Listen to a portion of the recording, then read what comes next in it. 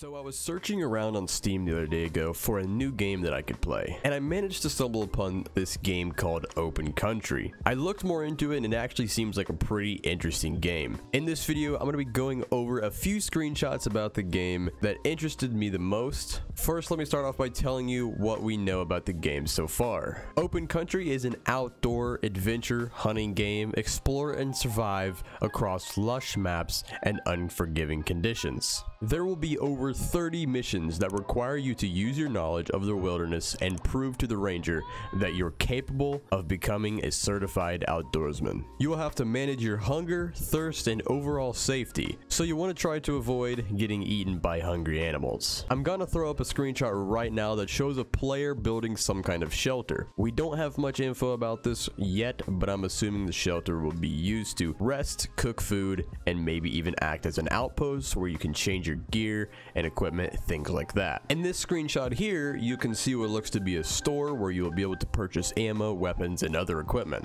By completing tasks in town, players will level up to unlock better weapons and gear to help them throughout the tougher missions. With these missions, it does appear that there's actual NPCs that you will interact with, which is very cool to see. Unlike the Hunter Call of the Wild, there is no visible NPCs. It's all kind of just like a made up drawn character that you look at and you listen to or whatever. Hell, you don't even listen to half of them. It's normally just one lady talking and just narrating. You know, it's weird. It's weird. I really wish they would have some kind of NPC or cutscene system in that game, but I, I don't think they ever will. I just don't think that's the route they're really going down. But hey, this game will. Open Country will have NPCs. It does seem so, as I have seen here in this gameplay and stuff. It does look like we will be getting dogs in this game, so that's very cool to see. Call the Wild is getting dogs now. Not sure exactly what they will be used for, but according to this screenshot here, it states you might even make a four-legged friend along the way, so that pretty much proves that there will be dogs in this game. Now, unfortunately, there hasn't really been a whole lot of talk about this game,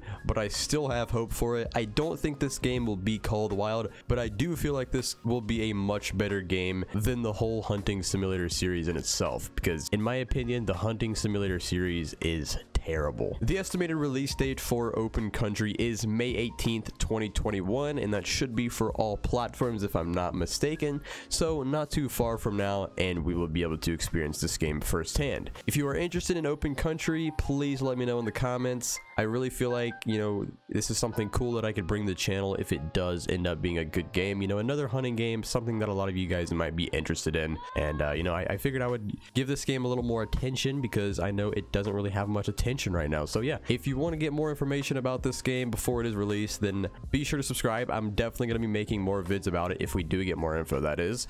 But yeah, thanks so much for watching. Don't forget to like, subscribe, and turn on those notifications, and I'll see you guys in the next one. Later.